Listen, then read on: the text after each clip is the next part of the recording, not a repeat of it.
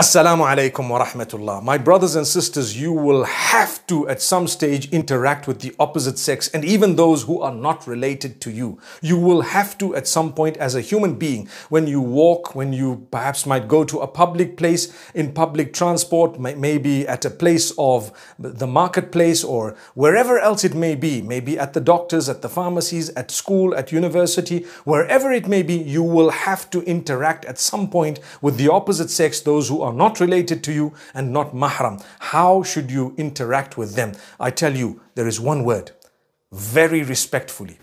You might say, those are two words. Well, very is only descriptive, but when it comes to respectfully, you need to understand that's the word. Be very respectful. Treat them as though they are, you know, the, the, the favor of Allah upon you, the opportunity Allah has given you to address the opposite sex, it should be absolutely respectful. It's an act of worship to respect others.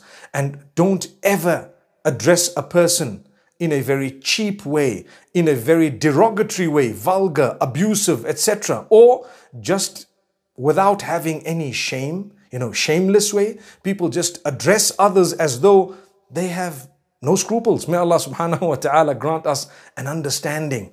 So I am here today to tell you please respect the opposite sex and even the same gender. Respect all human beings. Make sure when you address them, you bear in mind all the rules and regulations, you know, the, the, the rule of controlling your gaze and lowering it, the rule of speaking in a good tone, choosing good words, uh, getting to the point, you know, not saying that which is unnecessary, irrelevant, going into uh, perhaps details that are embarrassing and so on, that which is unnecessary, putting people into a spot in, you know, in a corner and so on. Remember that.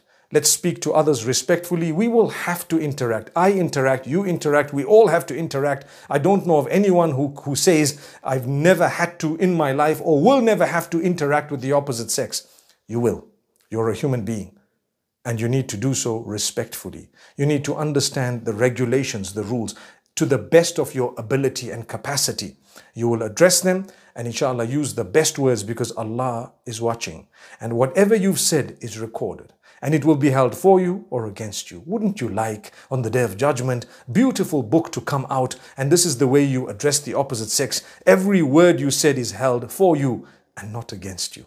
May Allah subhanahu wa ta'ala let that happen for us. أقول قولي هذا وصلى الله وسلم وبارك على نبينا محمد والسلام عليكم ورحمة الله